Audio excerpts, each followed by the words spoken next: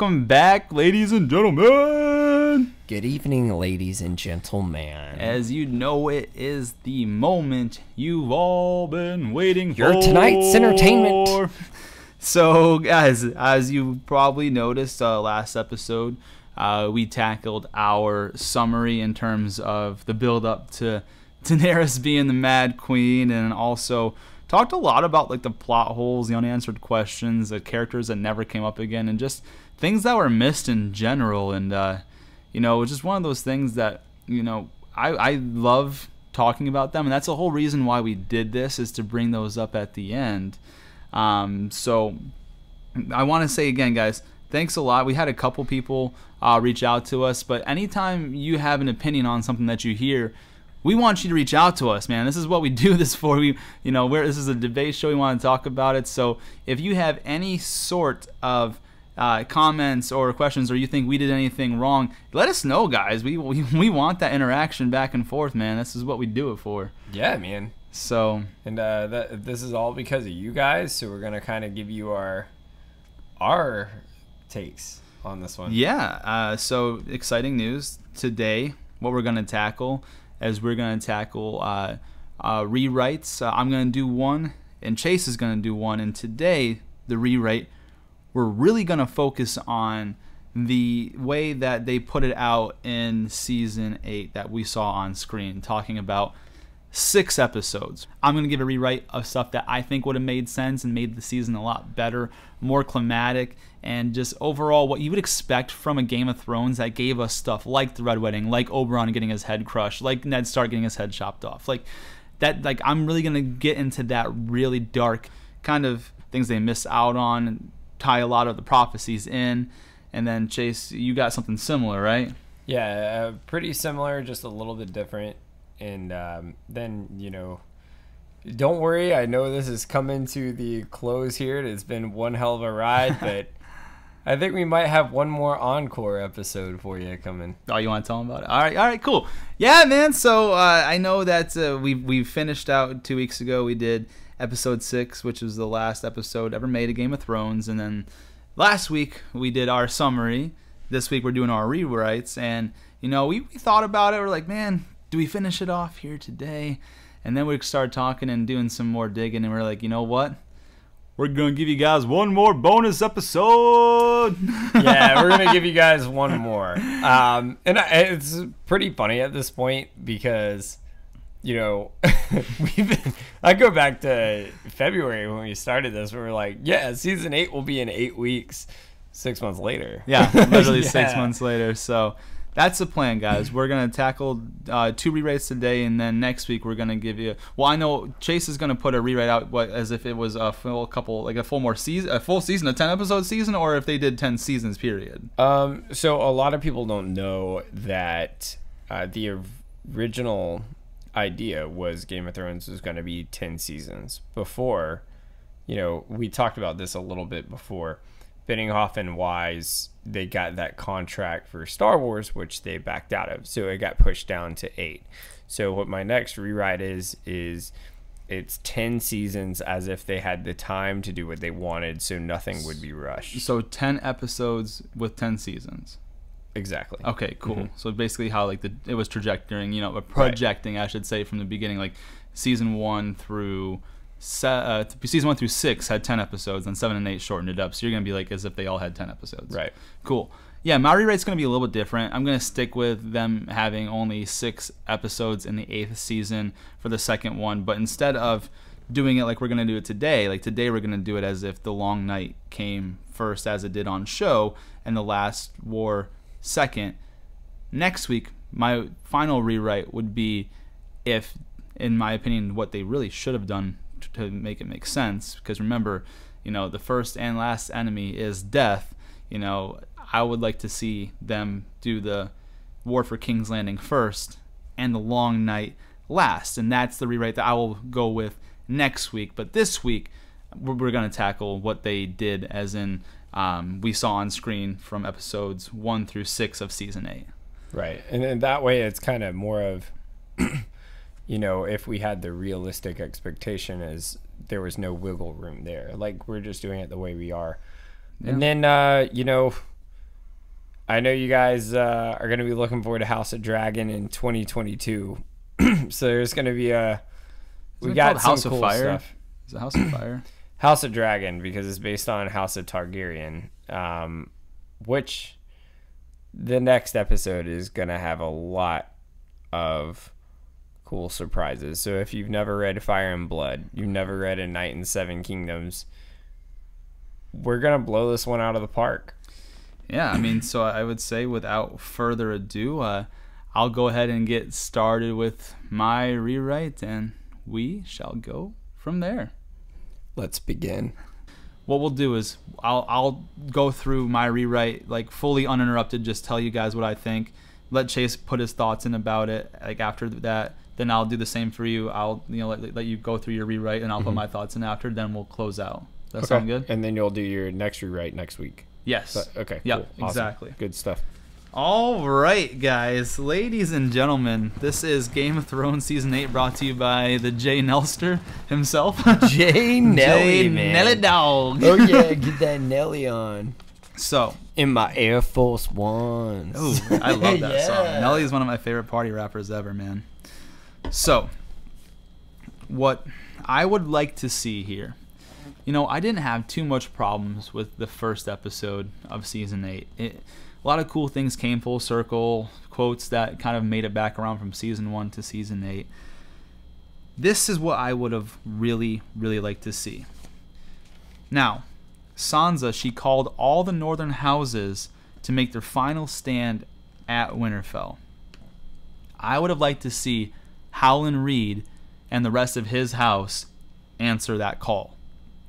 Because that would help us out with two things. Number one, we'd see Meera again, because what happened to Meera, no mm-hmm. one knows, right? She comes back to defend Winterfell and fight alongside Bran one more time. Maybe she stands with Theon at the in the Long Night. Maybe not that's what my what I'm going through with. But I'm just saying, it would have been. I I will have them Howland Reed in his house showing up to answer the call. Now, I think that I also, you know, talking about when we get into it, the Jaime arriving at Winterfell, when they're grilling him, it being a much more I don't know if Jaime's gonna make it out of this room alive or he's gonna be a prisoner because Dany brings up the fact that he tried to kill her. So now we've got you know we've got Howland Reed in Winterfell with all the other northern houses. Meera's there. We're all planning on defending Winterfell against the army of the dead. You know, Jaime ends up being able to fight alongside them as well. You know, maybe Brienne's speech and Sansa and and Jon being like, "Hey, listen, we need all the battle-tested warriors that we can get to have a chance here." That's how that goes. Totally cool with that, right?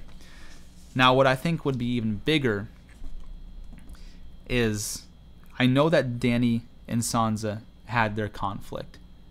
In my opinion, I would have their conflict be a lot bigger and more bitter, huge feud.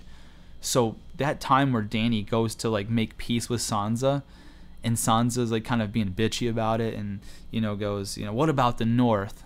I would love to have like Dany not take any shit and just fire right back with something along the lines of uh, the north uh, the north is in the seven kingdoms and i am the queen of the seven kingdoms the north will be under my rule as will you that would have been badass because now you've got some bad blood boiling up and the reason why i need this bad blood to boil up is going to make sense later on when i get past this right so after that i would have liked to see the whole theon thing because like this whole entire time you start to see Dany doesn't have a good time in the north. She's not welcomed there. She doesn't feel like everyone's on her side. She's got her people from Essos in terms of Missandei and Grey Worm, and that's pretty much it. Even she kind of gets weird with Tyrion because Tyrion has a fun past with Sansa. Like they were married, they were together through a lot of things that happened. So you know she doesn't even know what to think about Tyrion at this point. Varys, I don't ever feel like she's really trusted Varys fully.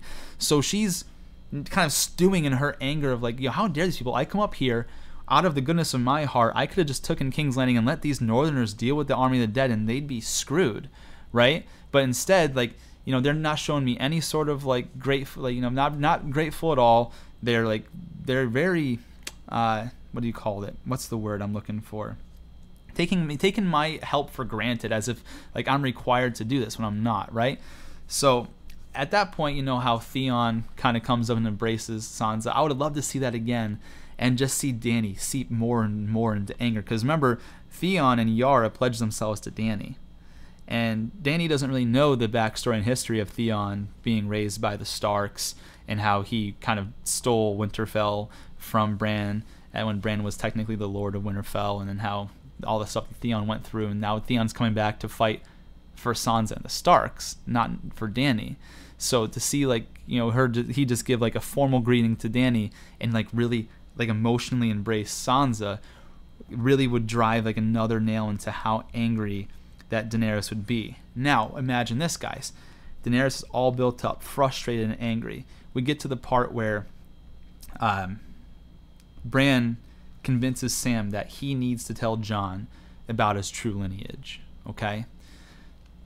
So Sam goes down to the crypts. Same sort of deal. Tells Jon his true lineage. Jon kind of freaks out a little bit the same way he kind of did, like steps back, and then he has that realization that, like, well, you know what? My my brother and my best friend wouldn't lie to me about this. I know these guys as character; they wouldn't lie to me. So then, what I would say is that at the point where they start making the battle plans and things of that nature, instead of having it wait till the very last second to tell Dany that he Aegon Targaryen the sixth, like right before the horns sound for the long night to begin, he tells her a little bit before that. And then I would like to see Dany not believe him. Not because Jon said it, but basically her being like, like you know you understand what's happening. Sansa doesn't like me. Bran and Sam are your brother and your best friend. They're trying to undermine me up here in the north. This is like they basically not accepting the fact that Jon is telling the truth because she doesn't believe Bran and Sam. Cue in our boy Howland Reed comes up and corroborates the story, tells Dany, and as an unbiased person who has no ties to anyone there, because he only had ties to Ned Stark, right? He could advise, tell Dany exactly what happened since he was there when they took out Arthur Dayne and Gerold Hightower at the Tower of Joy and he was there. Obviously, Ned Stark's got to carry Jon Snow or Aegon Targaryen down the steps, and what do you think Howland's gonna be like? Oh, cool, nice fucking baby, man. Like no, like of course, like he's gonna have to explain to to uh, Howland Reed what happened, and so now having Howland Reed as a like he doesn't have any sort of bias, him tell her exactly what happened so that way, number one, he plays a big role in revealing who Jon really is. And number two, we like, you know, he comes into battle for the Starks, you know, for his best friends' kids, so they survive. Boom, we, we get taken care of where Howland Reed fits in, right? Now, what I would like to do, talk about as well, too, now before the long night, instead of Jon telling Dany in the crypts who he is, Jon back in the crypts Howland Reed going to Jon. Because remember what Jon and his father, Ned Stark, talked about at the end of season one when they split? Ned promised to tell Jon about his mother when they see each other again. Right? And they never saw each other again because Ned died. Well, what better way to talk about Jon's mother than having your father's best friend tell you about it in the crypts while you're next to your mother that you now know is your mother? And have Howland Reed sit there and tell Jon about who Lyanna Stark was and how they had to keep it a secret and really like kind of go into depth about it and really kind of like take Jon under that wing and kind of explain to him who he is so Jon's not in the dark about, you know, his past because think about it, his whole world got flipped upside down when Sam basically told him, Ned Stark's not your father, man. You're not a bastard. You're actually born by Rhaegar Targaryen and Lyanna Stark. like what? no big deal. yeah, no big deal. All cool, right? So like his whole world, his head must have been spinning and to have Howland Reed explain that to him as like you know his father is not able to, you know, if I have a best friend, if I have a child, you know, and I've got a best friend that I trust, and I can't disclose something because I die, I, what I would want, I want my best friend to be able to tell exactly we, I would have what I would have wanted to, right? So that's what I would have liked to see there. Now, uh, I would like to see this this is where we start the, the beginning of the long night. So instead of that conflict where Dany tells Jon and they're kind of like at each other. You know, she's obviously super uncomfortable with the situation. I would have liked him to kind of get a sense of peace with the fact that he is Aegon Targaryen the sixth right there. Okay. Then all of a sudden, the bells ring and they're getting ready to stand for the long night. Now, I would have liked to see Daenerys instead of getting mad at Jon Snow and like you know because they remember like they were getting frosty with each other when it was time to fight like he was ready to fight alongside her and she was kind of throwing shade and attitude his way her be able to like accept it a little bit more because he knows he's not just saying that from his brother and his best friend like there's someone else who corroborated that story so they're able to kind of get along in a better way to start out this big battle. Now bro what i really like to see and this is going to throw you for something right here.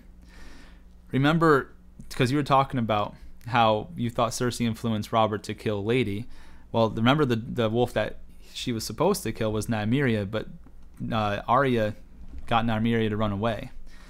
I would have liked to see Nymeria return with a pack of direwolves and run alongside Ghost. That would be awesome, dude. Right? That would have been. Nymeria shows man. up at the very That end of the long night and has yeah. Ghost next to her, and them as like the last surviving wolves of the Stark, like you know, bloodline.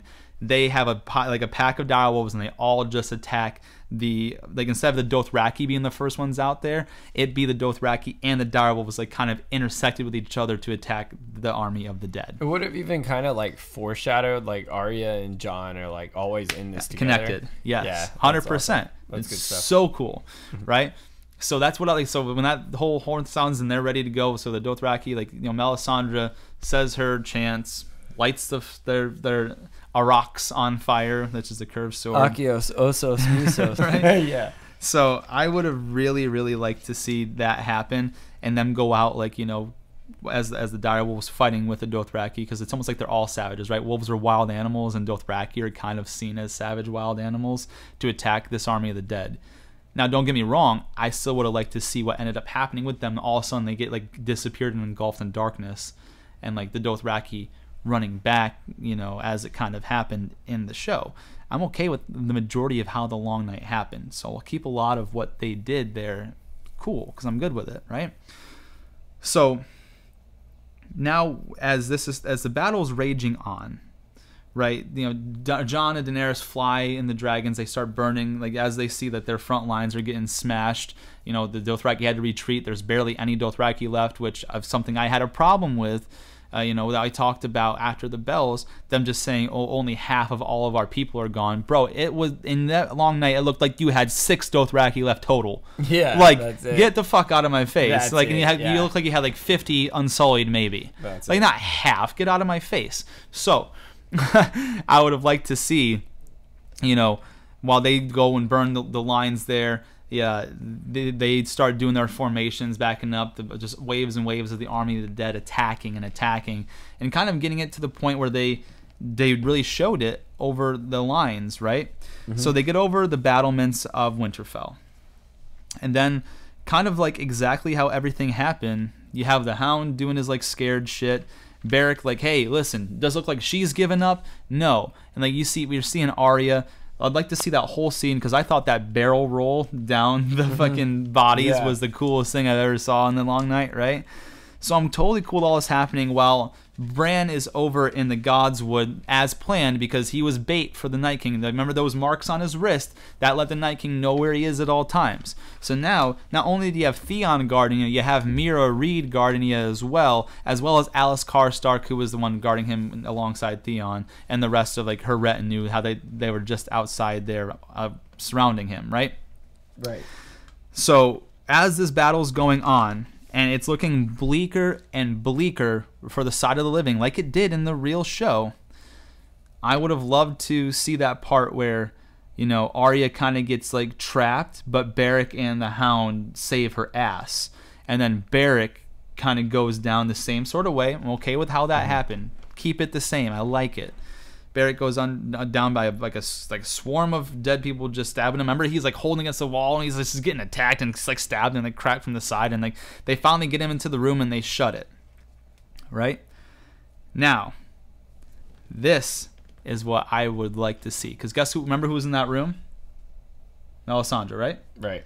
I was gonna wait for you to say. So- it's your rewrite. Yeah, right. so Melisandre's in that room, and she makes that important thing there. Like, you know, he served his purpose. Talking about Beric, you know, you got he got you to this part. Remember, you know, because Brown eyes, green eyes, blue right, eyes. Right, because Arya says that you know you said we'd meet again, and Melisandre says, yeah, and here we are at the end of the world. said She I'd shut eyes forever. said- He said, I'd shut eyes forever too. She's like, yeah, yeah, uh, brown eyes, green eyes, and blue eyes. And so, the one thing I wanted to talk about, and this is the exact, this is the exact quote that she said. Before we even get to this part, remember this. Remember when uh, Sir Davos allowed Melisandre to walk into Winterfell. He ran up to her, and what did Melisandre say? He says, she says, uh, oh, what, I just had it here. when Sir Davos There it is. Here, I got, I got it. No, so I, I got it. Here it is. castle. Mhm. So when Sir Davos like runs up to her, she goes, "There's no need to execute me, Sir mm-hmm. Davos. I'll be dead before the dawn." Now, remember the prophecy. The prophecy, the prince that was promised will bring the dawn. So bear with me here, guys. Instead of Melisandre at the end of the long night walking out and just disappearing in the dust, this is what I would like to see happen. She grabs Arya's hand that has the cat's paw dagger in it, uses every part of her energy left in her magic uh, to to where she like gives out her life's energy, basically to turn the cat's paw dagger into the the sword lightbringer. Basically, because guess what? It was be, it is before the dawn. She's gonna bring the dawn, right? So she was like, I'll be dead before the dawn. She gives out all her life's energy into her magic, where she turns that blade into, because now it's Lightbringer, it's Dragon Glass, and it's Valyrian Steel. That's pretty badass. All in That's one That's a pretty fucking- awesome idea. That's pretty and so cool. then she just collapses dead right as you see the blade glowing and the heat emanating. You see like almost like the what do you call it? The fog, like not the fog, but like the steam, the steam smoke, coming off of yeah. of the blade, and you just see it glowing in the light. And she's dead there, and she fulfills her own prophecy. I'll be dead before the dawn. That's awesome. Now- that's really good. Arya's got Lightbringer, but it's not what you think of in a sword. It's the cat's paw dagger, which has been a big important piece throughout the entire series of Game of Thrones ever since someone tried to kill Bran with this dagger, right? So, anyways, this battle's still commencing, right? The biggest thing, you know, Dany gets knocked off. Uh, you know, Jon like gets knocked off Rhaegal. I almost said Rhaegar. Gets knocked off Rhaegal, right? I would love to see Jon get knocked off Rhaegal. He chases the Night King. The Night King raises the dead, and he's got to basically fight his way through. So him and the Night King never had that showdown, is what it shows in the show. I'm okay with that right here. Follow me here, guys. This is gonna be great. So, now remember when Dany blows down that big old dragon fire on the Night King. Night King unscathed, doesn't bother him at all. Cool, no problem. I'm I'm good with that. But remember when all the like when she lands, like all the uh, army of the dead was like dragging up on her dragon. He the dragon is trying to shake them off, and when he shakes them off, she goes flying off the back, and that's when they go to attack her. And who comes to her aid? Ser Jorah. That's but awesome. remember this. Well, I mean that's that's exactly what happened. That's not my own thing. I can't take credit for that. Yeah. But what I will take credit for is this next part. When he raises the army, like when he raises the dead, who else gets raised from the dead? Everyone in the crypts. All the crypts in there. Who's in the crypts? We got Sansa, we got Tyrion, we got Varys, we got Missandei, we got all these people. Crypts are fucked. The crypts, like right, and so all the dead start coming out of the crypts. I would have loved to see Grey Worm understand what was happening and him go down to the crypts and fight off as many of the dead singularly by himself to save Missandei. Because guys, no one important like That's it was based awesome. it That's was great. it was I basically like this. In the in what happened in the show, nobody in the crypts died that was important. Not one. It was not. It was basically like here. There are some people that are going to be brought back to the dead that are in the, the the tombs of the Starks. Cool, awesome. But like Mm. Tyrion was never in danger. Sansa, Missandei, none of them like ever seemed like oh they're, they're to die here. right? So I would have liked them to see like yo know, they they pin Missandei like real close like that she's about to die. And then you just see Grey Worm just like for the love of his life just hacking and mowing these people in the crypts down by himself right? And while he's fighting them down in the crypts we have that huge moment with like the giant and Lyanna Mormont I almost said Lyanna Stark. Lyanna, Lyanna Mormont that happens just the way it happened. That was beautiful. Loved it. Awesome I guess technically that could happen. Comes back from the crypts you know? yeah right? Just kidding. So I, I really liked to see that like, the, the the whole giant thing. I'm happy with the way Edd Tollett died saving Sam. Like it, it like I, I'm okay with that the, that death. Now after Lyanna Mormont gets crushed by the giant's hand, but she's got enough energy to poke the the Valyrian or the Dragonglass dagger into the giant's eye, and the giant collapses and she dies. Who are we down now? Melisandre's dead, like she was in the original. Beric's dead, like he was in the original. Edd Tollett's dead like he was in the original, right? So we've got three that are dead right now. Now, as this is going on, remember what I said. Jorah is protecting Dany. And he's doing his best, but ultimately he falls. He dies. And what's going on while Jon's fighting the army of the dead? The Night King and his generals are walking to the Godswood. Okay? Now, like I said, Theon, he's do- holding his own. He does a badass job but Theon, ultimately, we all know he's not going to be the one to save Bran. And just along with Meera, right? We have House Reed there. Howland's just fighting alongside maybe Jaime and Brienne like they were on the ramparts. Totally cool with that. But we see Theon, you know, run at the Night King and die just the way he died. Now Theon's dead. Like to see everyone in that Godswood die. Meera gets killed in service to Bran, just like her brother Jojen, making a full circle moment there. Mm-hmm. Now Howland Reed has no heirs, right? But at the end of the day, how beautiful is that that like her brother died saving Bran in the beginning, and then she died saving him at the end. Beautiful full circle yeah, moment there. That's great. An additional mm-hmm. death there that would have been great because in the long night, like I said, my issue with it, it was too predictable who died. So right now, you have an additional death of Meera that wasn't in the original. She dies. You know, the Night King gets to, you know, gets kind of gets starts walking up to Bran or whatever.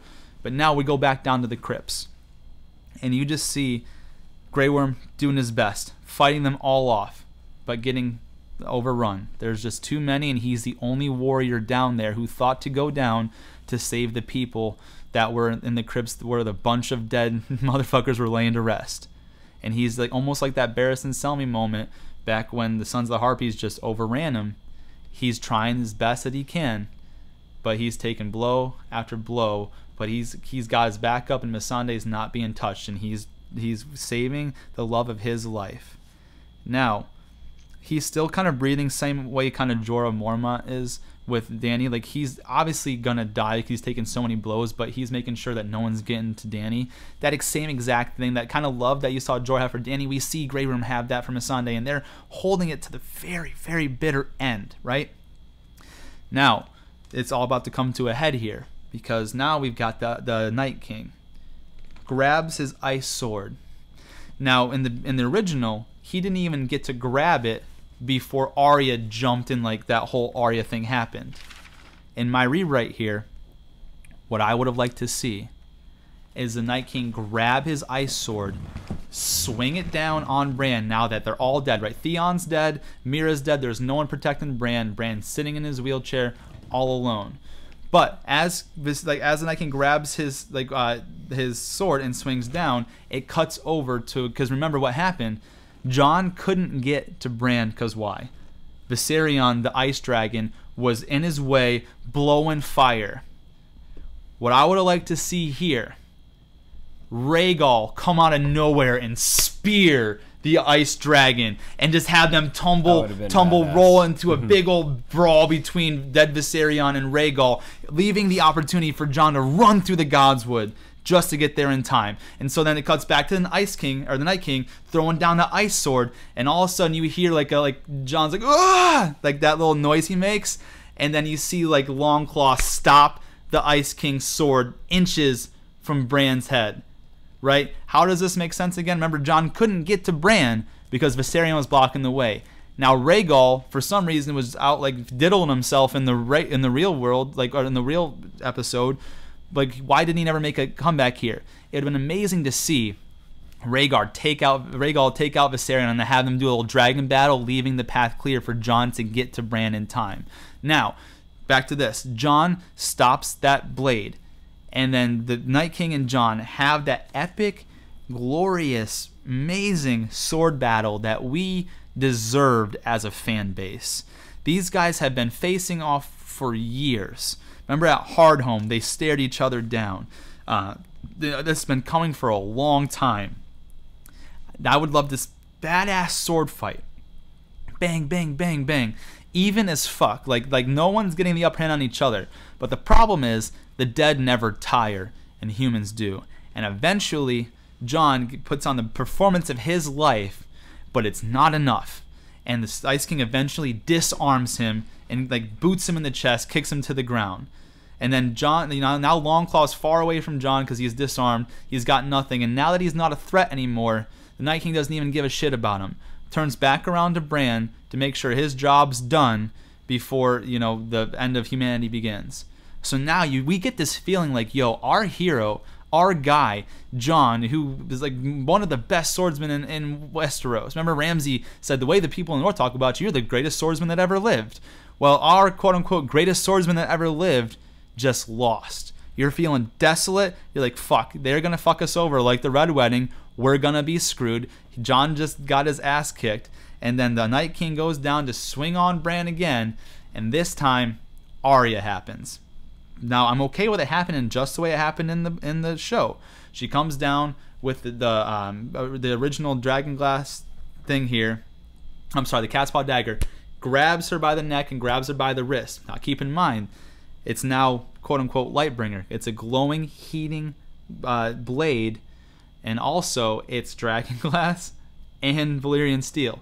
She drops it down, catches it with her other hand, and puts it in his heart, and boom, he dies. I would have liked that a lot more because it would have got us to the brink of like, fuck, we are really gonna lose this. She saves the day just like she did, so she can still be that big protagonist. I'm totally okay with that. But we needed that Jon Snow sword fight, and we needed it to have him lose to really feel like, oh my goodness, all hope is lost. Now, now that he died, all the rest of the army of the dead drops too. And just like it happened, Jorah dies, falls in his arms, but now, down in the crypts, Grey Worm, almost almost identically at the same time. You see like Jorah fall down into Dany's arms. Maybe Grey Worm. It's like a cutscene back and forth between the two. How similar it is because of the love they had for each other was very very same. And then you see Grey Worm. He leaves this world. He dies protecting the woman that he loved. Okay, so let's let's chalk this up now. We've got Edd dying, just like he did regularly. We got Beric Dondarrion dying the, the way he did. We have Melisandre dying better because instead of just walking out like for no reason and just turning to dust, she died giving her life to bring the prophecy that she prophesied to reality. Okay. Then on top of that, we've got uh, we've got Grey Worm that died, Theon that died, Meera that died. Right. So we've got these additional people that brought so much more like angst like like it's it's it's it's almost like what the terror would feel like losing a bunch of really main key people all right? Because like i said the, the ones before it was very very predictable who was going to live and who was going to die. Now you add Grey Worm to the death you add Meera to the death like those are two people that you wouldn't think about right? And what does this do now as well this is another person that Dany loses to get her closer and closer to the edge of flipping that switch of becoming the Mad Queen.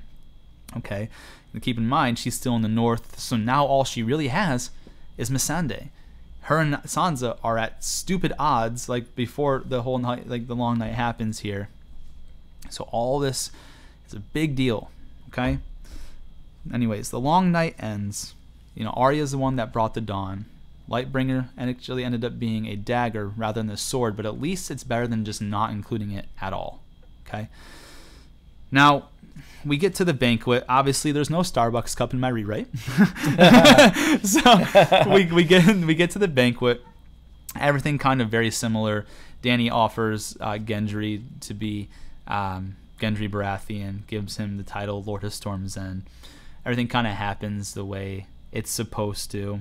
Now, the thing that I have that's a little bit different is because all these people are cheering and praising Jon. Because it, keep in mind, in the Northerners' eyes, in the army's eyes, it's almost like Daenerys didn't do anything because she was being protected by Jorah, while Jon gave his life getting through the army of the dead, was able to get past the fucking dragon, and was able to go like toe to toe with the Night King, even though he lost.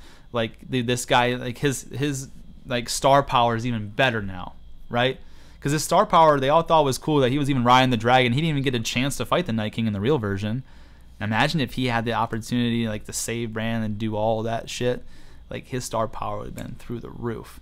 But that to that detriment though, like to his to his benefit is to Daener- Daenerys's detriment because now they're looking at her like, what the fuck did you do? Mm-hmm. Jon was riding dragons, blowing people down with fire too. On top of that, he was able to get there, almost save Bran, almost save everybody, get beat, but hold enough time for someone to get there to stop him. Dany, what did you do? Oh, you were there getting protected by Jorah. Awesome. You know what I mean? so yeah. on top of that, you know, before we get to that banquet, I totally forgot about this part here. When they lay all the, the dead to the rest in the pyres, like having Howland be the one to set the fire onto Meera and having Missandei be the one to set the fire on the Grey Worm, kind of like how we saw um, Jon set it to Lady Mormont, and how we saw Sam set it to Edd, right. and how we saw um, uh, what's her face, Dany set it to Jorah. Now we see those extra two, and we feel even more deeply for them, you know, as as uh, as an audience. So, anyways, uh, we get we get through that banquet. You know, people start you know having their fun or whatever you want to call it. You know, the whole Jaime and Brienne thing happens the same way it happens in um, in, in how it really did in the show. I'm okay with that. That works for me. Now, am I annoyed about like his arc and how it turned around? Yes, but it's gonna help me with my rewrite and how I have him exiting an ice and fire, right? So now what I have happening is they they talk about how they're going to be bringing their their armies down. Well, I guess Dany does that same thing where she tries to get with Jon, and Jon's kind of like pulls her away, you know. And I wish, you know, I so I swear everyone to silence, you know. I wish I didn't know what I, you know, what I know. I was happy, and I was until I saw them with you. You know, you like they they love you. Like you know, I've had that before, just never on this side of the sea, right? So all that's the same. So let's just go through to where things will start to change a little bit. So all that's the same. They they make plans to go down to Dragonstone. Then Jon goes in the Northern Army. Sansa still tries to um, go through with like, no, we gotta let them rest. And like Dany shuts her ass down. Jon shuts her ass down.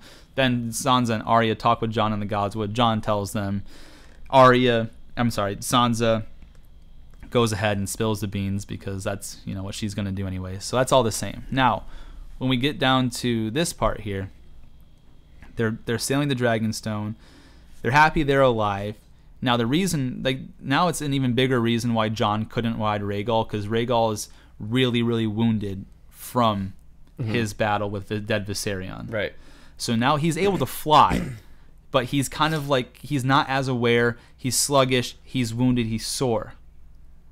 So now, when Euron Greyjoy catches them off guard, it's more realistic that he's able to put three pinpoint scorpions on him because he's already hurt as it is. Mm-hmm. So boom, all of a sudden, same thing sort of happens.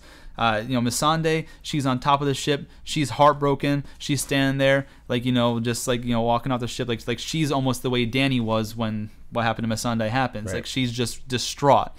Then all of a sudden, you know, the same thing. Their boats get attacked. Boom, like Rhaegal gets hit out of the sky. But now it makes it more swallowable that this dragon was able to be hit because it was wounded. It wasn't paying attention. It was just trying to fly to like. It was given so much effort to even be in the air, and then all of a sudden you weren't paying attention, and boom, boom, boom, those scorpions hit him, and now Rhaegal dies just the way he did.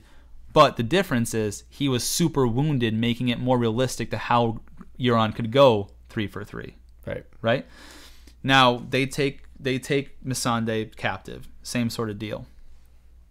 Now the issue is Grey Worm's not there to have a whole mm-hmm. meltdown about it. And so same sort of thing happens here. This is where it's gonna get really fun for you, bro. same same sort of thing happens here where they are in this room, and uh, not no, not not quite yet. I got ahead of myself. So they they are wondering how they're gonna parlay and meet with Cersei and bring terms to them, like the same sort of thing. Like oh, well, you know, uh, this the meeting with Cersei won't stop a bloodshed, but maybe they should see that Daenerys Stormborn tried everything that she possibly could to avoid bloodshed, and they know who to blame when the sky falls down on them. Same mm-hmm. deal, awesome. That works right. for me. Yeah. Now, towards the end, like the end of this episode of Last of the Starks, they all go to meet uh, Cersei like they did. Same sort of interaction. Only difference, Grey Worm's not there. Okay. And then same they, they give each other the same terms. Wasn't accepted. Cersei says, Any last words to Missandei? Missandei says the same thing to Dracarys, hoping for some rescue. Doesn't happen. Sir Gregor cuts her head off, removes it from her shoulders, right in front of Daenerys. What does this do?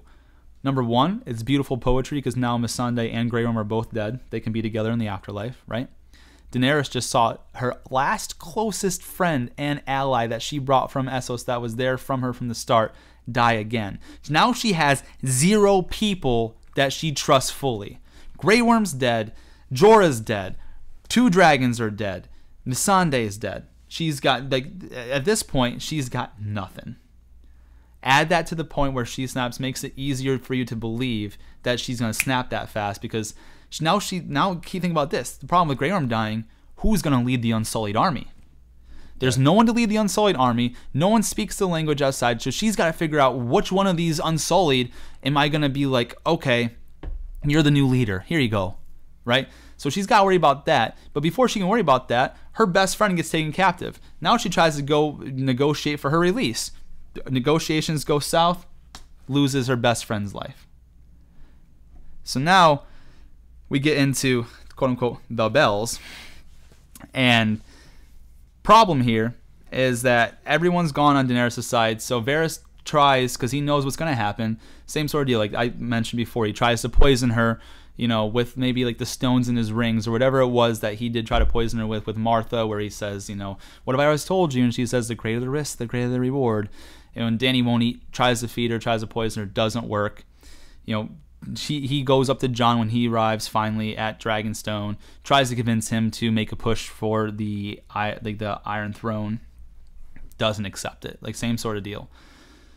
Now this is where it's going to get a little bit interesting because now they're in this room where in, instead of Grey Worm being there and giving her Missandei's collar, it's just Daenerys alone holding Missandei's collar in this room with the fire. Mm-hmm. And like she's like, like like you can see like she's cried herself so out that no more tears are coming out, but like you know she's just in solemn mourning. And then right before Jon Snow comes in and walks in, she throws the collar into the fire. And Jon walks in, and this is like a little bright spot for her. Hey, this is the guy I love, you know. And then so the same sort of thing happens, like you know, uh, you know, your your sister killed you know Varys as much as I did. You know, she's plotting against us. She wants to see me removed and you on the Iron Throne. And you know, Jon's like, well, I'll refuse. You know, I'll refuse. I'll refuse. Yeah, it doesn't matter what you want. You know, you're my queen. exactly. Back on that shit. And she goes, I don't have love here.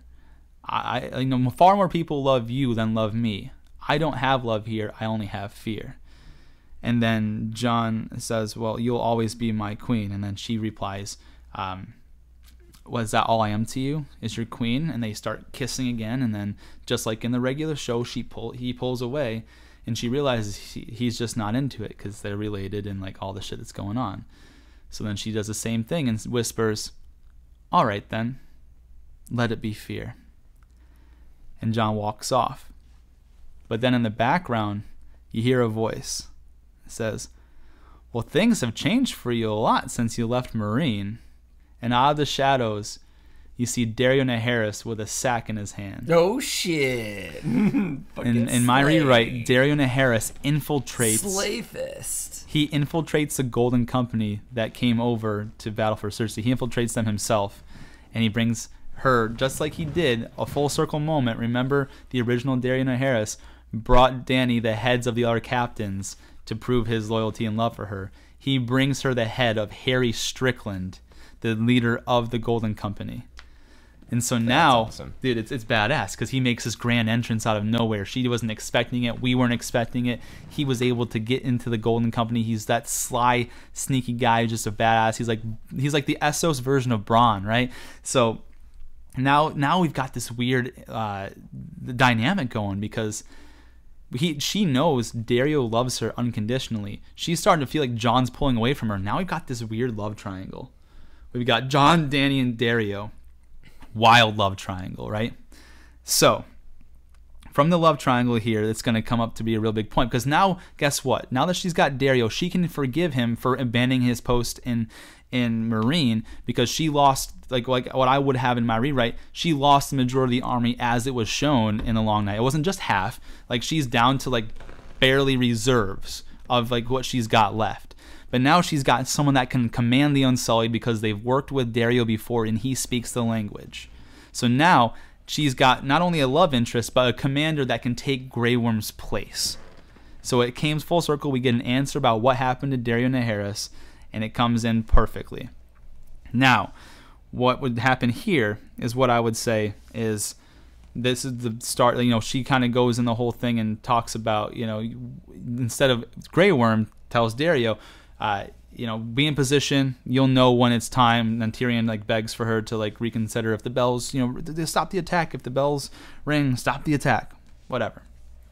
So now on on the side you've got you've got Jon, Daario Naharis, the Unsullied, the Dothraki, and all the Northmen that are gonna fight against the Golden Company.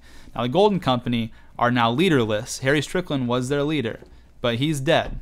Now they've got like a, a scattered army, which makes more sense as to why they were so useless in the in the show. Because remember when Dan Daenerys was starting to blow shit down and she blew through the Black End. So she what she did, and I'm okay with this the same way.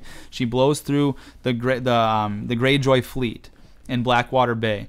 No issue there. Like Euron has to jump from it just to survive. She destroys all them. She goes back in, destroys the back wall, and then that army just attacks the Golden Company and, and just blows through them like a hot knife through butter then having the same sort of deal, even though she's got less people, they're devoted to her cause and they're better skilled warriors because now the, their people doesn't they don't the Golden Company doesn't have a leader anymore because Daario Naharis infiltrated and took him out.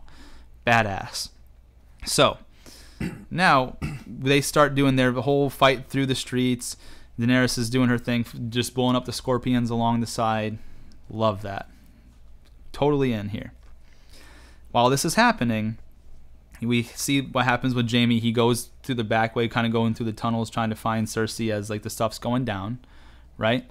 And then you have that big interaction with Euron, and Jaime and Euron fight. And I'm totally cool with what happens there, like how it happened in the show. Euron stabs him fatally. Jaime was able to somehow get up there and, and kill Euron first, but he suffered two mortal wounds. Now, before like we get farther into Jaime there, we go back to where they've basically destroyed all the armies there, and then they have the opportunity to ring the bells. They ring the bells. Daenerys, even more madder now because she's lost Grey Worm, Missandei, Jorah, two dragons, everyone she's ever to hold dear at all. She's got no one from Essos outside of Daario Naharis, who she doesn't even really love, but she'll accept him at this point because that's all she's got left, right? She mows, doesn't even think about, it, just mows through King's Land in the same exact way that she did and just starts burning shit down.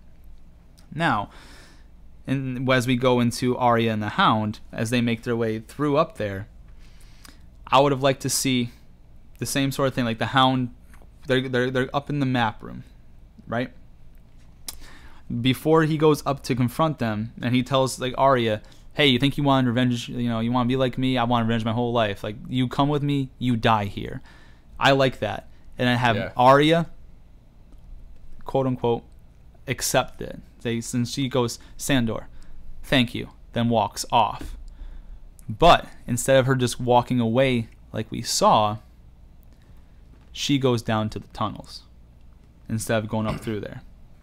So now you have the Clegane Bowl happen. I'm cool with how it happened. The only thing I'm not cool with was the way that the mountain looked. He looked like a zombie Varys. He had no beard all of a sudden, no hair on his head. Yeah. Made no sense the way he looked. And I was telling Chase, I do believe the better of the act, the best actor for The Mountain was Conan Stevens, which is the one in, in season one.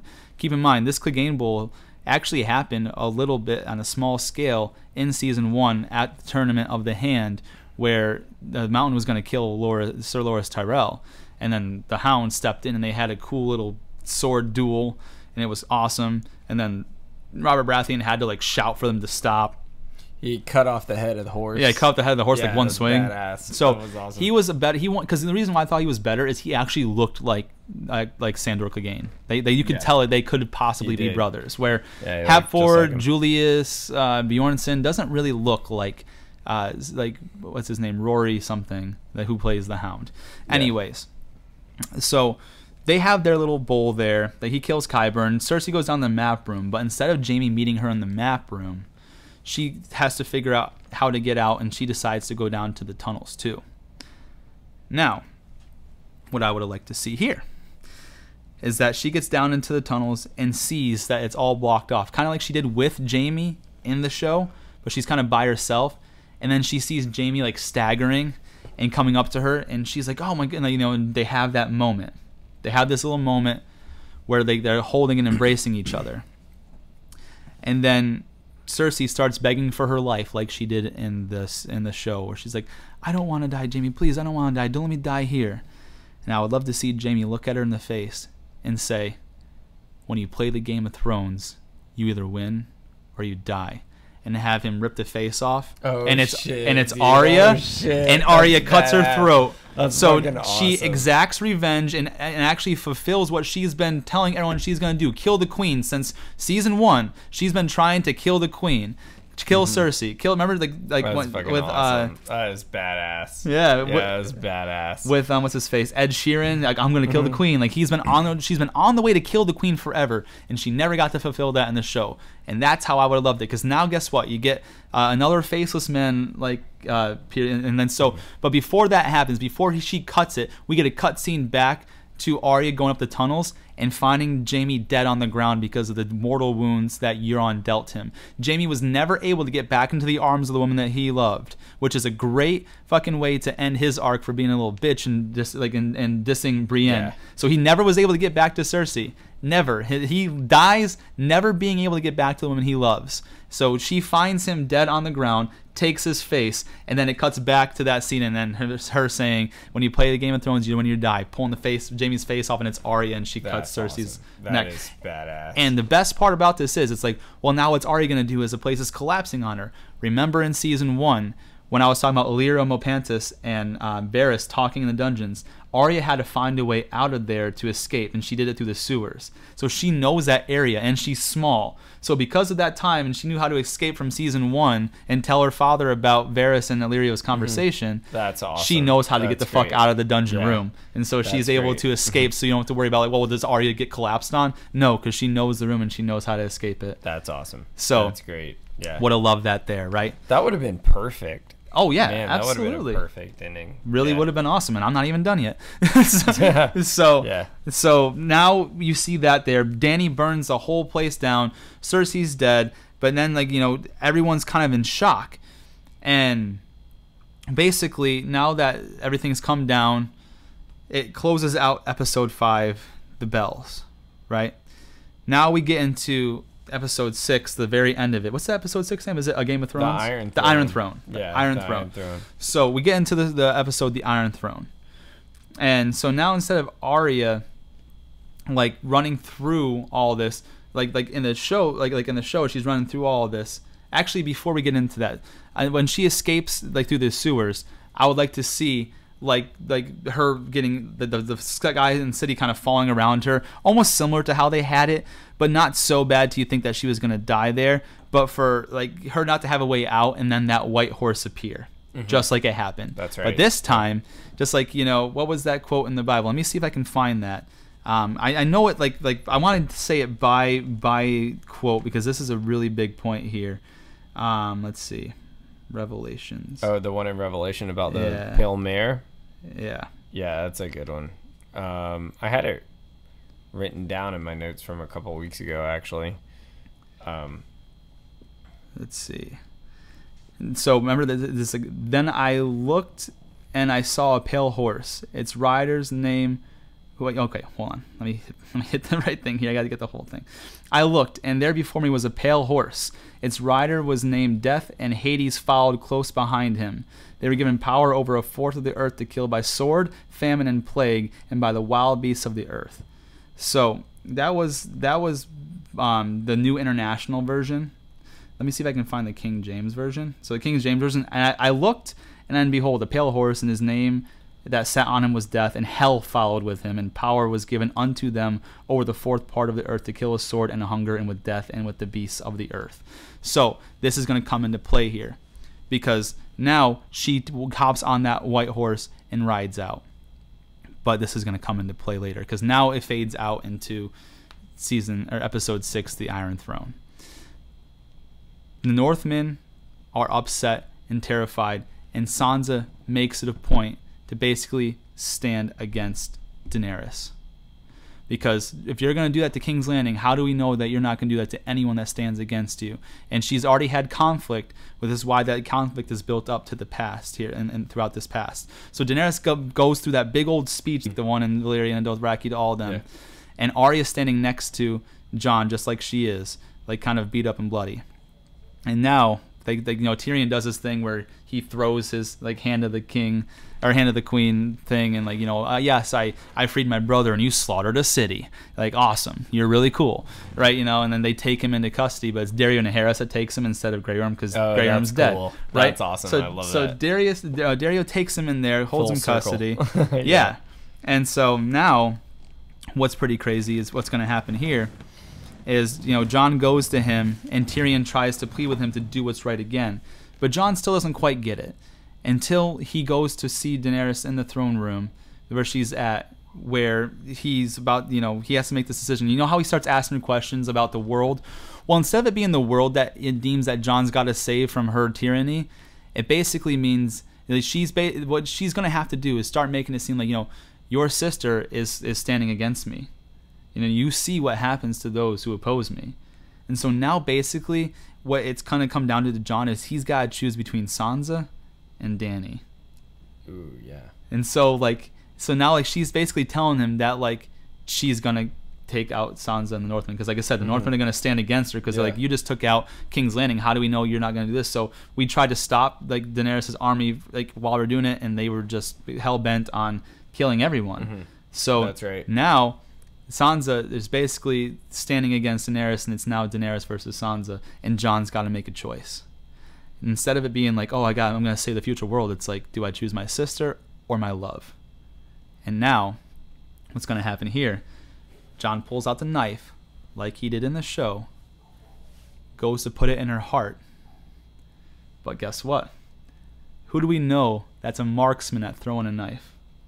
Daario. Daario Harris yeah, throws Daario a knife, Harris. catches Jon on the wrist before oh, Jon shit. before Jon can oh shit before oh, Jon can shit. put it into her heart. Fuck yeah! He drops the sword. Dany Fucking looks at him, realizes Jon was about like so he he like, he drops the sword because or not the sword, then the dagger he was about to put in Dany's heart because Daario hit him right on that nerve on the in the wrist that made him drop it. So so badass. dude, and so dude. Dany That looks at him. Sick. Dany looks at Jon in shock as she badass. realizes her love of her life was about to kill her, and Daario just saved him. So she runs to the dragon to get on the dragon, fly out, and all of a sudden, you know, Daario Naharis has his arakh, and Jon Snow and Daario have a badass sword fight. That would be Each, like, sick, dude. one on one, That Daario versus Jon for the love of. Dany. Oh, big But- dirty at its Oh, finest. You think? You think That that's the good? Ultimate dirty. You think that's Oh, good? yeah. Wait till you hear this part. Oh shit. Dany, because now Dany's hell bent, and in, in my rewrite, she's gonna be like, all right, cool. Now all the fucking Northerners are fucked too. I'm burning everyone down.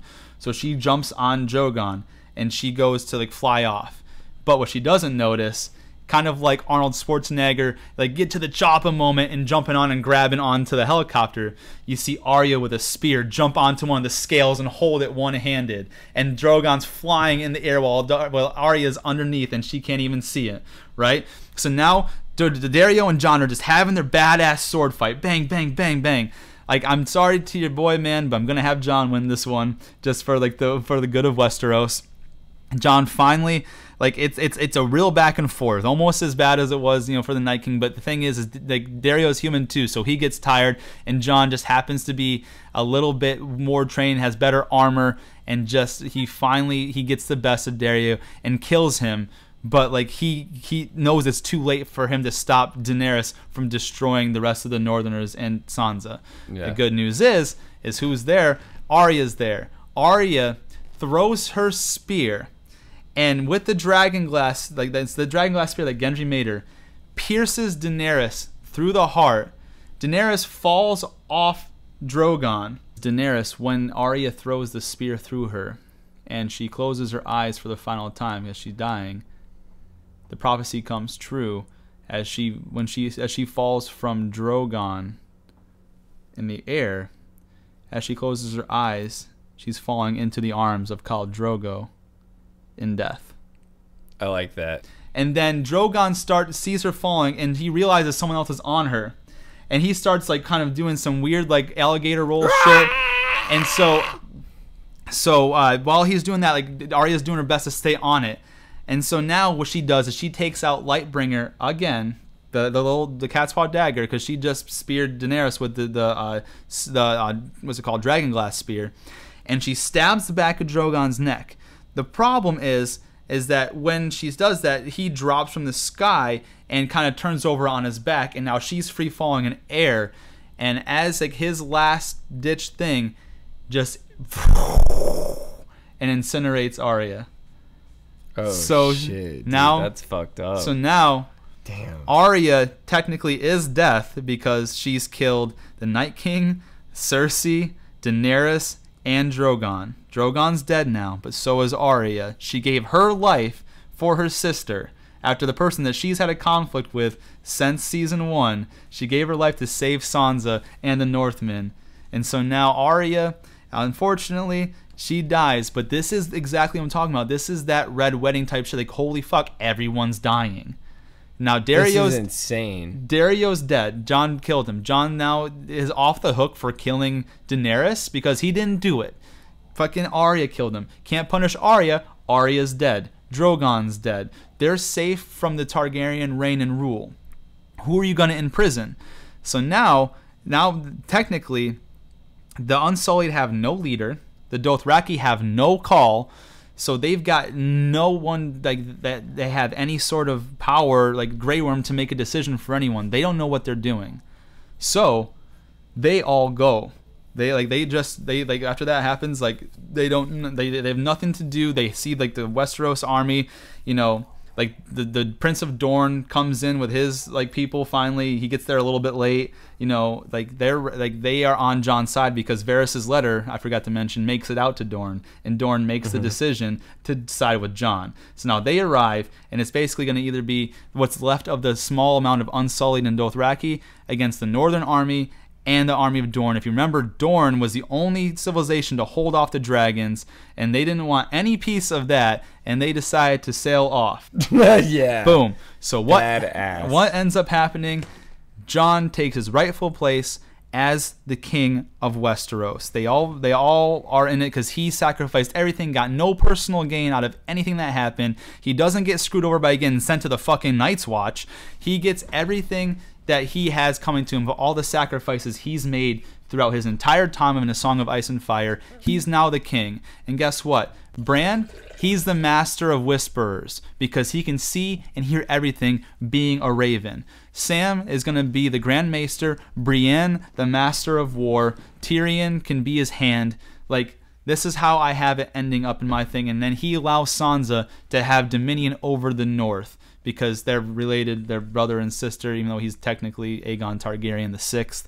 A Targaryen takes the throne, but it's Jon who, again, the perfect balance, a Targaryen father and a Stark mother, meaning he's powerful and honorable at the same time.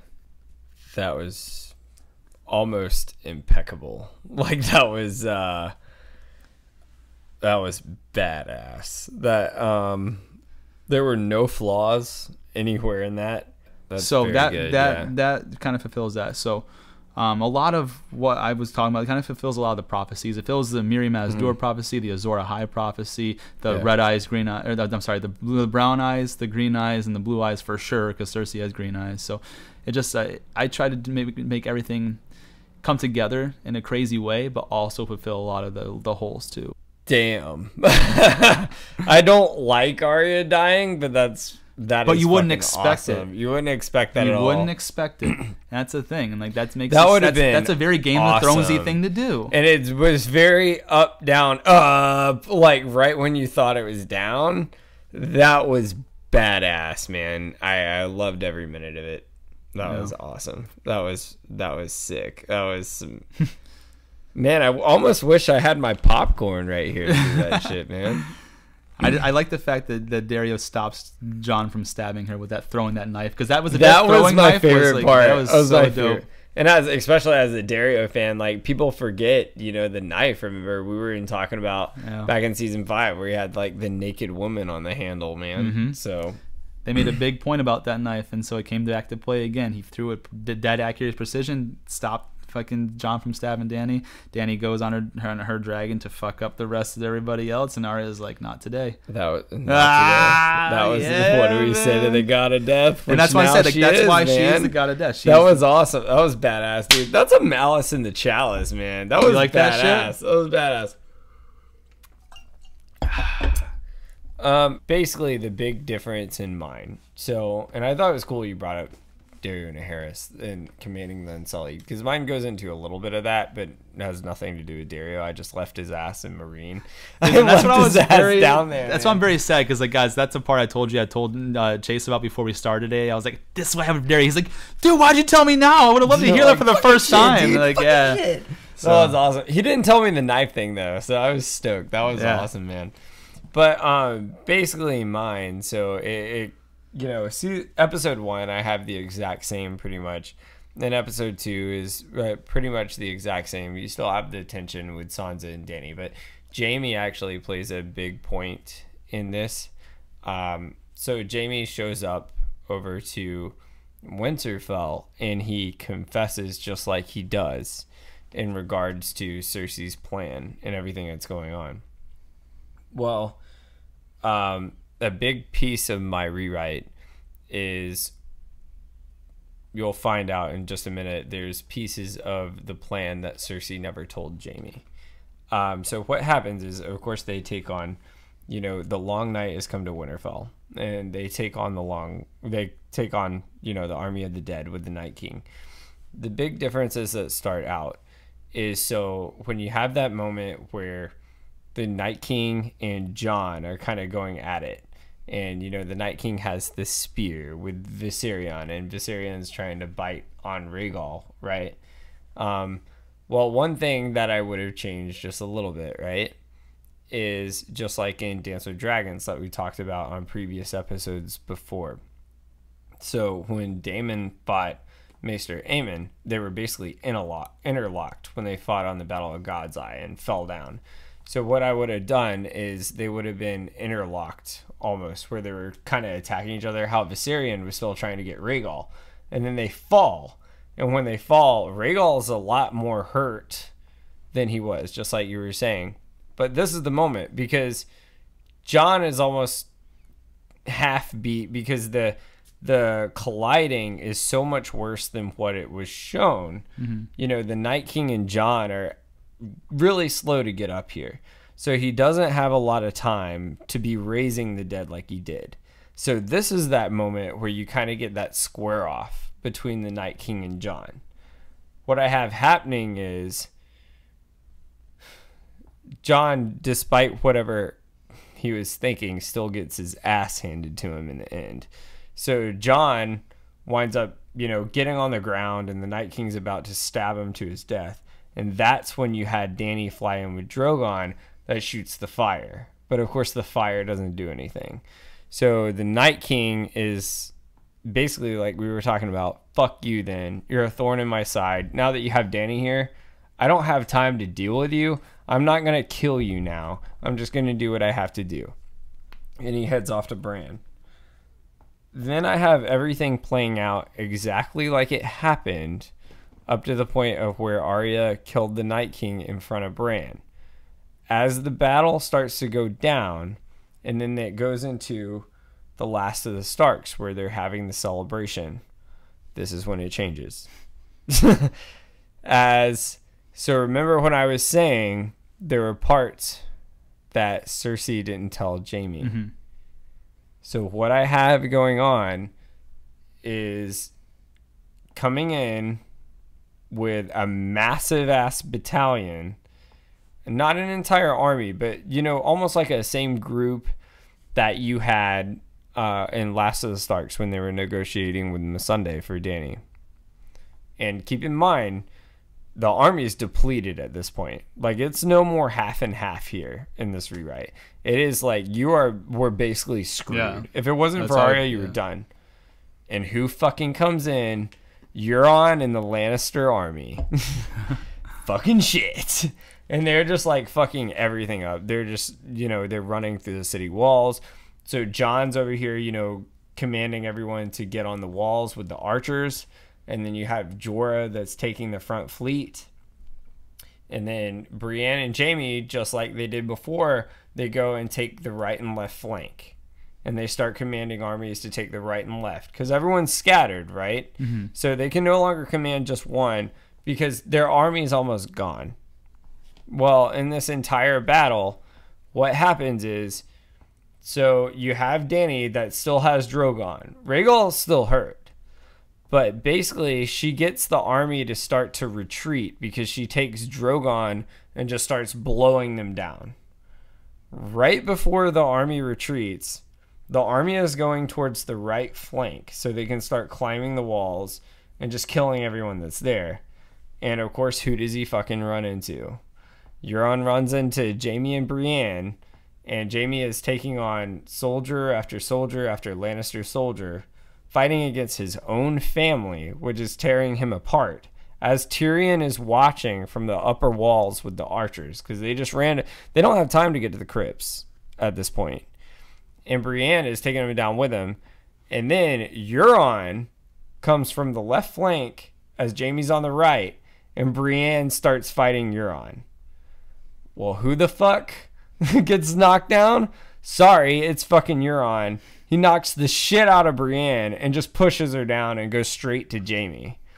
Jaime, still fighting a soldier, is taking on two people at once, and he can only use one hand. And Euron stabs him in the side, and as he's stabbing him, This is at Winterfell. at Winterfell. Okay. This is at Winterfell.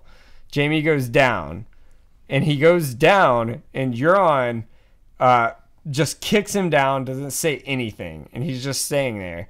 And then he's about to like stab him through his entire stomach, and just starts yelling, "I fuck the queen!" and right as he does, Brienne like stabs him, and he falls to the ground for like two seconds. She doesn't worry about Euron she goes straight to Jaime because her emotions to this point is all I care about is Jaime. And Jaime is just wheezing and like can can't breathe. And as he's in Brienne's arms, fucking Euron pulls his ass up and starts walking away towards the army. Just walking away, almost like he did in King's Landing and Jaime is in her arms. She doesn't even worry about it. And he passes away and dies. And it goes back to when earlier in the episodes and earlier in the books, you know, Jaime always talked about, I always wanted to die in my loved one's arms. So it shows he really always loved Brienne, despite his love for Cersei the whole time. Euron fucking escapes because she's too busy taking care of Jaime at this point to deal with him. So the army retreats with, you know, a, half a battalion, which is really, you know, like a hundred guys. Like, despite the massive army they came in, Drogon just fucked them up. Like, that's just the way it is. But they had basically nothing. So you don't have time to go chase their ass down. You focus on what you have. So what they decide here, despite the arguing that's already been going on, and Jon's already told Dany about his lineage in episode two, which I had almost exactly the same before the long night. they decide they're going to go take refuge in Dragonstone because Cersei already knows where they're at. And if they come back again, they decide that there is, and they decide there is no way that they can take another fleet because this isn't like where they had you know let's say we have half let's say we have all this shit back in where they were in dragonstone. No it's like they literally have what they have left. Like we need to find a place to calm down for a while and, and regroup try to find more allies. And they go to dragonstone. This is like three weeks later. So time kind of lapses here for just a minute. And you do have you do kind of have that moment with Tormund, and he kind of says goodbye and all that stuff. And Rhaegal's kind of recovered just enough where he could fly. So you kind of have this moment where the whole separation between Sansa and Danny, and you still have Tyrion talking to Sansa because after what they just endured, you know. But this time it's better because it's like we need to come together for a greater cause at this point. Like we just got ransacked. So now it's not just about the throne. It's about it's about revenge at this point because you just took it out on us. Now you've just killed a bunch of the Northmen at the same time. So you have a little bit of that moment where I can almost come to an agreement with you, but it's not at the point of I'm just completely on your side, but I'm still going to support what you're doing. So what they decide is all the armies are going to go to Dragonstone and they're going to go ahead and take King's Landing from there. Why Yara, that's in command of the Iron Islands, is going to sail in from the other side and then take them from the back because they're not even considering Yara because she's been gone the entire time. Well, okay. so as the next episode starts, so this would be generally Last of the Starks, and this is on my one season review here. Rhaegal's kind of recovered just enough to fly, so Jon's on him, and Jon's like, "I'm gonna go." You know, me and Dany are gonna fly first. So y'all take the ships, y'all sail. Tyrion, Tyrion and Grey Worm, you take the first boat out with us with a few ships. Everyone else, you get there when you get there. Sansa, you get there when you get there. Arya, you get there when you get there. And then you have Dany, and you have Jon that's kind of sailing next to each other, but he's sailing next to Dany really to just protect her at this point. Because at this point, you have no loyalty. You don't know who's where. And as they're kind of watching out for each other, he's paying more attention to her. Guess who the fuck retreated to Dragonstone to grab fucking power? fucking Euron Greyjoy. And Rhaegal still isn't at the point he's fully recovered. He's going fucking three for three, knocks Rhaegal out, and then plummets to the ground. Doesn't kill Jon because he hits just the dragon because he's aiming just for Rhaegal. Plummets into the ocean. And Dany sees this with her own eyes. Instead of focusing on Dany, as Dany goes straight for Euron, taking out as many ships as she can, you still have those three or four ships that are there out of the 11 they had. What does Euron do? He's intellectual as fuck he knows Dany's going to get hers, so she starts to pull away for a minute and circles around as she's trying to see what's happening with Jon. Rhaegal's dead. Rhaegal's done. Plummets into the ocean. You can see his body and his head floating as Jon is swimming to the shore. Euron commands his fleet to focus all the fleet to the two ships that are there with Tyrion and Grey Worm and everyone on it takes him out, just like the show. Gone. Tyrion jumps off the ocean, jumps into the ocean. The ships are destroyed. Grey Worm goes into the ocean. As Dany's circling, she realizes what's happening and gets down on the beach. Grey Worm and Jon show up first on the beach. The beach already has the fucking army on it. Hmm. It's already ambushed. Like they set the beach there on purpose. The boats were around the beach. They are not just leaving a fucking castle for no reason. The castle is already taken with Lannister soldiers at this moment. Tyrion in the fucking ocean, Dany and lands at the very edge of the uh, shore on the far left side. So that way she's the farthest away from Euron, who's still on a fucking ship. And you have Lannister soldiers still charging her. Tyrion, smart, his boat was over towards the left, so he gets off first and is able to get over to the dragon where Dany was. Grey Worm, of course, is on the other boat that gets to the shore first and is taking out Lannister soldier, soldiers hmm. one by one as much as he can, taking captive. Jon, from where he was knocked off Rhaegal in the center of the ocean, is too far back, so it takes time to swim over to Dragonstone Island. So he, of course, gets there last. No, ma- and we know he's not a fucking great swimmer, swimmer from season fucking seven. Yeah. Dany has no choice but to leave because she's starting. Drogon's getting spears thrown at him. He's screaming. He's roaring. Uh, Dany's like, I don't know what to fucking do. Tyrion barely climbs on, and they have to just circle above and leave. As she's leaving, she sees Jon crawl up to the shore where the Lannister soldiers just capture him with Grey with Grey Worm. Next scene, Euron kind of circles him up in the middle. It would have been really funny to be like, "Oh, this is a gift for a queen," but it'd be very cliche, so Yeah. I didn't do that. So what I have here is Euron with the Lannister soldiers he has. It's funny because I actually even put it in my notes. In the castle is the Golden Company. Yeah. So it's like you're double fucked at this point. Like you have the Golden Company occupying the castle and the Lannister fleet all around you and all, on Dragonstone. He takes Jon. You have Jon and Grey Worm captive. Goes up to Grey Worm with the Lannister soldiers. takes his axe out and cuts his head off Shit.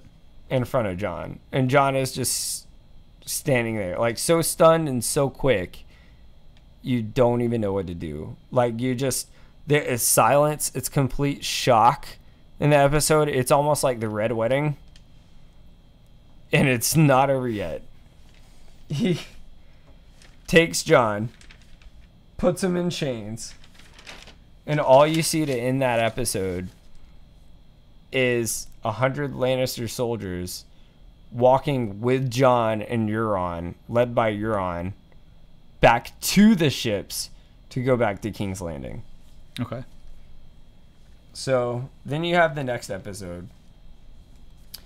And at this point, you have uh, in the next episode, which is really what you would have as season five, like the bells, Yep. uh, episode five, of the bells. This is when you actually have Cersei that meets with Qyburn and finds out Bronn that set off to meet Tyrion and Jaime got there and found out what Euron did. So he was like, "Fuck that! I'm going back to King's Landing." Because Bronn has always kind of a, been about himself. Yeah. So he just said, "Fuck that," and Jaime was already dead anyways. So what was the point? So he just fucking goes back and leaves and goes back to King's Landing. Dany and Missandei, Tyrion and Varys and Arya, the Dothraki, the Northmen, and Sansa all at once go to King's Landing with her. Takes time, but they were already on their way to Dragonstone. Go to King's Landing to discuss Jon's captive to try to get him back. And this is where you have it very similar at the moment. You have the mountain, you have Qyburn, you have Cersei and the Lannister army along the wall. The only difference is Is There's- Jon and not Missandei. it's Jon and not Missandei, but there's another difference here. There's a block in the center. And they're negotiating back and forth, and Tyrion gives that long ass speech. Uh, you know, negotiating for Jon. Like, don't do this. And Sansa, you know, where you had that point where it was almost like a breaking point between Dany and her. and they got closer. This is what brings them to that point they start to agree with each other. Because this is no longer about this is the war at this point. This is no longer about who's right, who's wrong, who wants to be independent, who wants to take the throne. This is for her damn brother. And she pulls Jon out. Jon doesn't say anything. He just kind of stares. And you can see his eyes. And his hair is pulled back.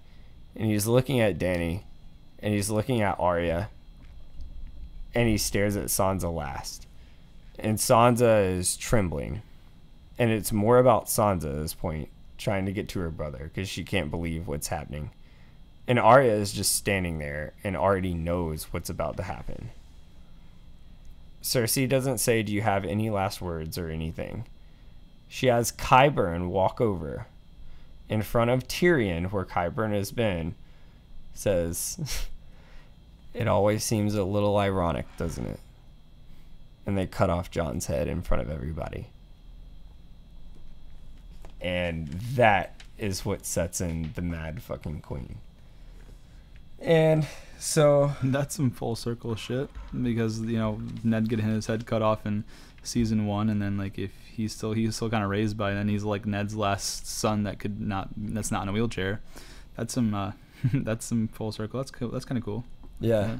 I Um like that. So, on top of now, you have Grey Worm dead, and you have Jon dead, who's commanding the Unsullied.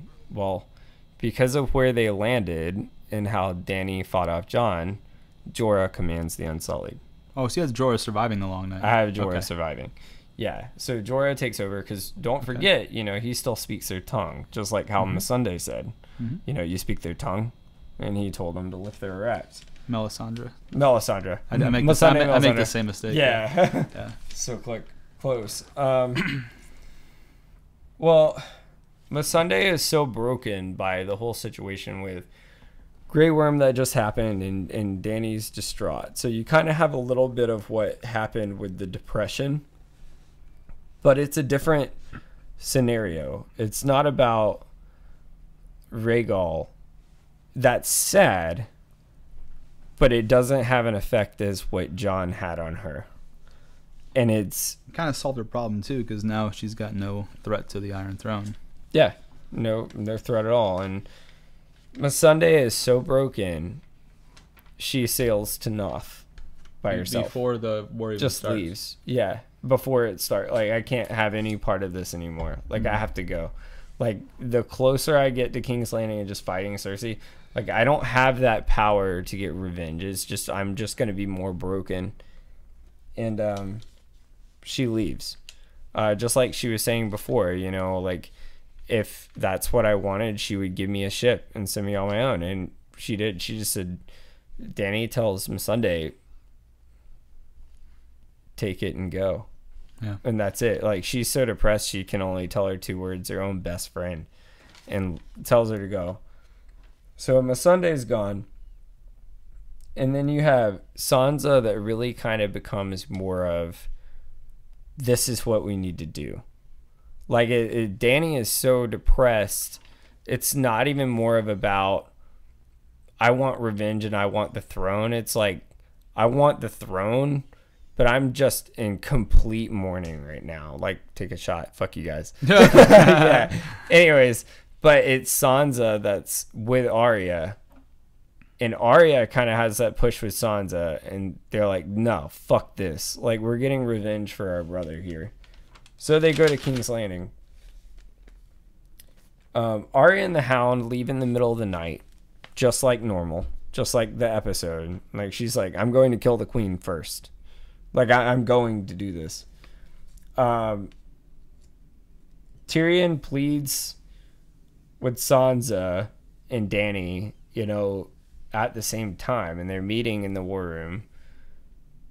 Don't destroy the city. And Sansa is kind of telling Dany, you know, we do need to negotiate at some point.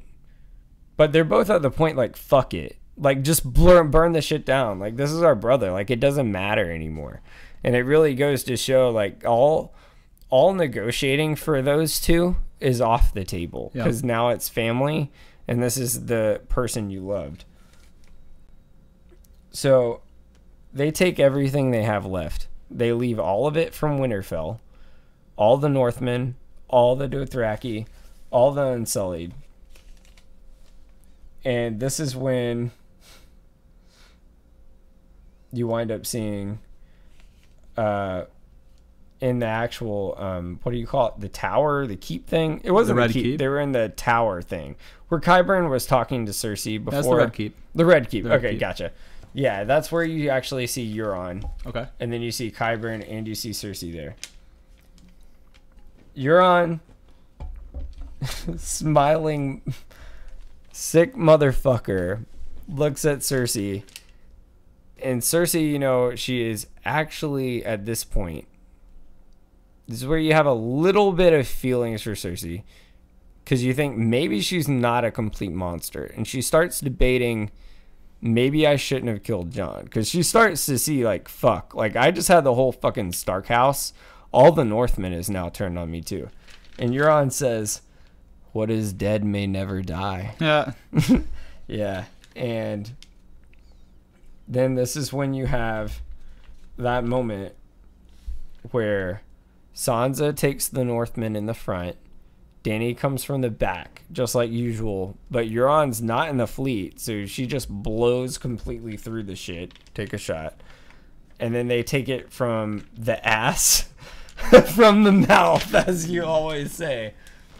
And, you know, Arya is heading for Cersei with the mountain, or with the hound, and the hound is heading for the mountain. And this is when you kind of have that whole moment with the hound and the mountain. But remember when Qyburn walks down the stairs and he shoves Qyburn against the wall? Mm-hmm. So right before he tells Arya, and Arya has that moment because keep in mind this is still her brother. This isn't this is personal now. So it has even more of a meaning than this is the list. I'm going to kill the queen. This is this is my brother. I want this to happen. And this is where this moment means even more. And the hound tells her, "You go with me, you die here." And everything's collapsing cuz they just don't give a fuck anymore. And she says, Sandor, thank you. And just leaves because she realizes it's not worth it anymore. Like, there's no, it is worth it, but if everything's going to be torn down with it. And that's when you start to have that moment where she meets up, you know, with the mother and the young daughter. Mm-hmm. And then you have Cersei and Qyburn that are walking down the stairs with the six guys. First, the hound takes out the six guys. The mountain shoves Qyburn against the wall. And then the hound stabs Cersei right through the chest. And she's done. She dies down the stairs, and that's it. Okay. that's fucking it. Okay. Um, so then you have that whole thing with you have that whole thing with the mountain and the hound. And then they they destroy the entire city of King's Landing. So and this is there's a, a bit of a difference here in this moment too. So it's different in my seasons one through ten, and I'm going to tell you that in just a bit. Uh, We're I- doing the one through ten next week, right? yeah one through ten next week, because that's next week. Okay. Yeah, so that's pretty cool. But so she she's gone. So the hound kind of takes that moment upon himself to take Arya's pledge. Is basically what that is. Um, so then, you know, the the place is destroyed. You have that moment with Arya, and you have the girl with the wooden horse, and they're burned down. And everything's gone.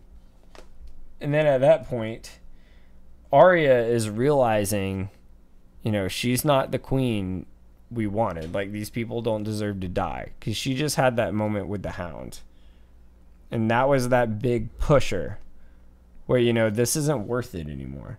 Like it's personal, but there's no reason to take it out on all these people. And what happens is after Dany gives the big speech, you have Arya that uses the faces of the unsullied and she goes and winds up killing Dany. Okay.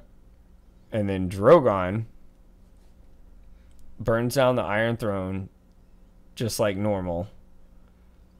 And I was thinking about killing Arya. I'm just too biased, so I won't hmm. do it. so he doesn't kill Arya, even though he should in this moment. And she takes Dany. And in the like in the last episode, what you were seeing that Samwell Tarly was saying last time I saw Drogon, he was on his way to Villa. Well, the theory is Volantis. And all you see is the very last episode, which is this is the one season one. This isn't season one through 10. You have Drogon drops Dany off in Volantis in the free cities, and Kinvara walks up, The other red priestess. the other red priestess, and all you see is Dany open her eyes, and it ends. Oh, like she brings her back to life. Yeah, and that's my rewrite for one season. I don't. I don't hate it. I, I would like to have seen uh, maybe for the next uh, ones. I would like to see like more of the prophecies coming into play, like being fulfilled, like the Yeah. Lightbringer and the Azor Ahai. Um, That's one- all one- in the next one. Okay, the problem cool. is it's so smashed. is. So yeah, I mean that was mine. It was difficult because it's there's so many unanswered questions, which I have a lot of them in my seasons one through ten. I just feel like I was trying to mesh Yeah. too much shit in there, so that's the best I could come up with for one season. Cool. So- so yeah, guys, that was uh, the rewrites according to us. I know I took the the first part there. Chase, you kind of finished it up. You know, I, I think that uh, regardless of if you liked like which one made the most sense to you, I think we can both agree that either one was at least more climatic than what we did see happen on screen. So uh, Yeah. I was happy with the way that we tackled it today, man. I don't know about you. Uh, I thought it was great. I, I really liked yours, man. That Daario moment. Oh, when he throws the dagger at Jon's wrist. had a- the only way it could have been better is if Oberyn was in it, but I'll, Well, he, forgive been for dead that. for a long time. I can't bring him that. back from dead, yeah, do it big dirty. Get a little malice, Yeah. baby, before That's we before sign I sign off him off? Okay, yeah, a little sign off Cheers. malice. How about that? Mm. I mean, But- this has been one of the funnest ones we've done because everything we did today was all off of our own thoughts and our own uh, and what we wanted to see. So it's brand new for everybody uh, hearing it for the first time, and it came directly from us instead of having us take notes on something. Oh, so. it's awesome, and definitely comment on it. I, I mean, if you had an opinion or com- you know, message us on Instagram. Yeah. Or tell us your, what you would have liked to see how it ended. We we love to hear that stuff. So Yeah. As Even- always, guys, you know we always have to tell you uh, if you liked what you saw here today, click like, subscribe, comment, uh, reach out to us. The uh, the fan engagement and interaction is uh, what we do it for. So, uh, but until next time, because I know that we gave you the big scoop of our bonus episode next week. Uh, We'll talk about our second rewrite as well as some of the other things that uh, Yeah. I'll keep a secret for now. Um, but uh, as of today, this has been another ridiculous installment Targaryen and the Stark Factor Fantasy. signing, Signing off. off.